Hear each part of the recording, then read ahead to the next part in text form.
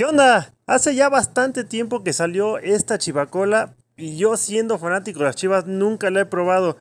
Así que a ver qué tal está. Después de superar el trauma de la tremenda cruzazuleada de las chivas en la final, pues qué les puedo decir, pues ya ni modo. Así que, salud.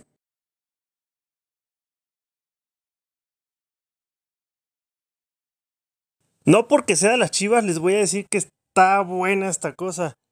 Sin embargo, pues tampoco está tan mala.